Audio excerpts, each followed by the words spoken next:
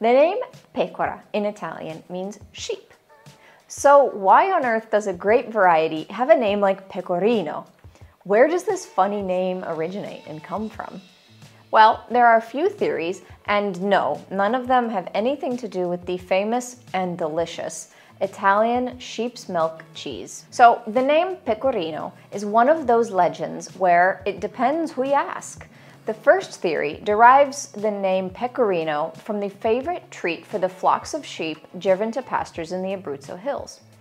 According to another theory, it was actually the herders themselves that would munch on the grapes while driving the sheep. And finally, one last theory says the name comes from the shape of the bunch, of the grape cluster, which can be seen as somewhat similar to that of a sheep's head. So which theory do you like the most? Go ahead and let us know in the comments below. Personally, I kind of see the sheep's head in the grape cluster, but I also love the idea of the herders plucking the clusters off to snack on in the afternoon sun with their sheeps just grazing near them. Hi everybody, I'm Jacqueline Fervero and we go around the world searching out small production and artisanal wines. And today I want to tell you about the Pecorino grape variety. Later on, we'll also taste this Rolland, a great expression of Pecorino from the Febo family winery in Abruzzo, Italy. Pecorino is a rare grape variety native to Le Marche and Abruzzo regions of central Italy along the Adriatic coastline. It's an ancient variety that was almost forgotten in the 20th century before seeing a revival in the 1990s.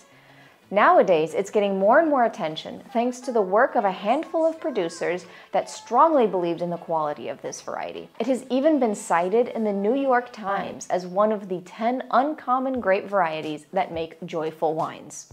In this article, the author, Eric Asimov, refers to Pecorino as sharp, energetic, and herbal, and rightfully so. In general, pecorino has a naturally high acidity level and is highly concentrated due to low productivity of the vines. This results in wines that tend to have concentrated flavors and aromas and are quite high in alcohol, with levels as high as 14% being common. They display distinct herbal notes of thyme, mint, or sage, accompanied by a fresh and fruity notes of crisp apples and pears, and are generally considered medium body wines. And now, it's time to talk about this Rolland, which is unlike any pecorino you've had.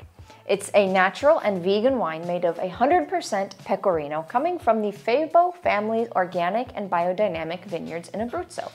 And it has everything that we said that you can expect from a pecorino. It's just all dialed up to 11. It has an orange hue, due in part to some skin contact and also to the past several years of drought in Abruzzo, which have created grapes with a high concentration of flavor, resulting in wines with very intense aromas and flavors.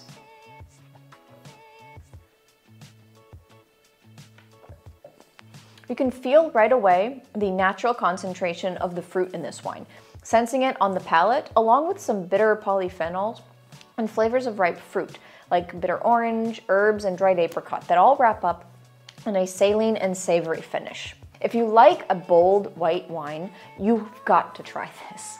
And thanks to Vero, you're in luck because you can buy this wine in our online shop at verovino.com. The link will be in the description below. On a final note, there is a great story behind the name of this wine, Rolland.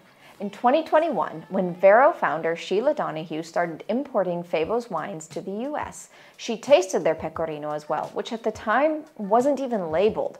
And she liked it so much that she insisted she had to include it in the first Febo shipment that was due to ship shortly.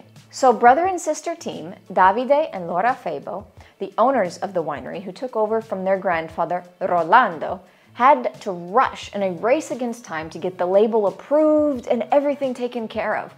A few days before the shipping, Sheila received the label and it had no name for the wine on it, so they had to quickly come up with a name.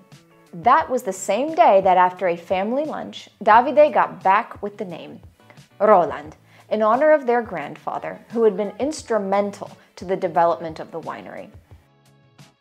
It's such a great story, and I think Nonno Rolando would be very proud to have his name on this bottle. Thank you very much for watching and joining me today. If you enjoyed the video, please give it a like. It goes a long way in helping us. And I will see you in the next video. Bye-bye!